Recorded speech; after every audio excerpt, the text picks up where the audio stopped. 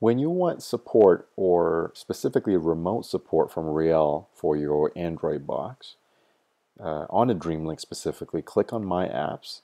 The TeamViewer app would already have been installed by Real.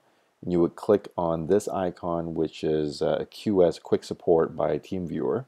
Click OK on the icon, and you can see that your ID, the nine-digit number, will appear.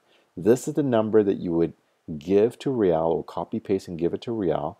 He'll put it into his TeamViewer software and TeamViewer or your there will be a pop-up requesting that you confirm it's okay for Real to help you remotely.